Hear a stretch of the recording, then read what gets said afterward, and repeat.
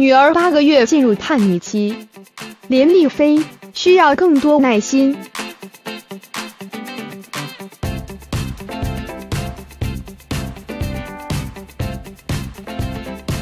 林迪飞当妈身材依旧超好。图翻摄自演书。二零一八年三月十四日。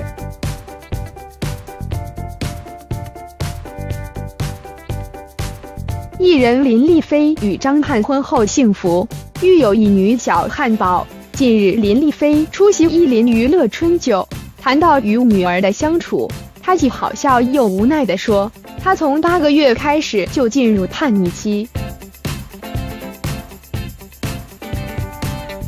谈及日前小汉堡因为在尿布台站起来，整个跌落地上，发出好大一声撞击声，想到当时心情。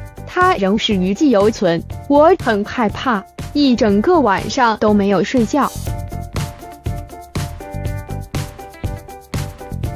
林迪飞表示，女儿现在九个月，我都亲带。她从八个月开始就叛逆期，他们说小孩是这个时候开始第一次叛逆期，只要不和他意就会哭，或者用动作来反抗。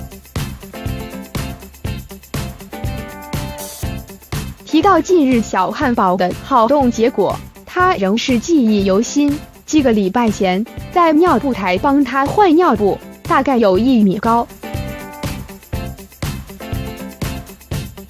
因为他现在会爬，会站，不喜欢趴住，有东西他就站起来。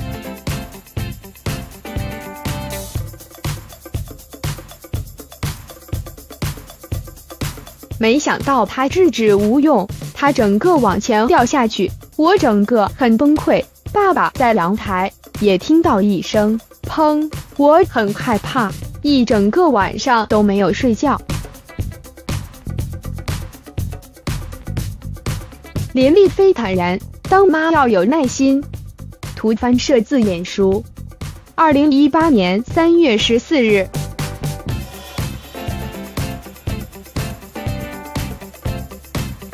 竟好小汉堡奇迹似的毫发无伤，超爱女儿的张翰还紧张地说：“我要帮她洗澡，检查她身上有没有伤痕。”本以为小孩遇到这么惨痛的教训，不会是住在尿布台站起来。林迪飞透露，女儿完全没在怕。隔天我把她放在尿布台，她又想站起来。我觉得这样的相处模式。自己需要更多、更多的耐心，因为他似乎都听不懂。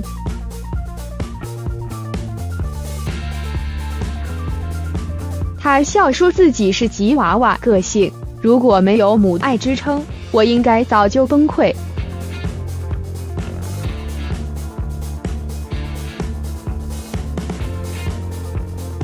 林迪飞后来求助保姆，知道小孩只会听进去简单指令。我现在都用很简单的指令，no no，其他事情还有效，但尿布台似乎没效。他透露，夫妻两人由他扮演教养黑脸，没有办法，因为我是主要照顾者。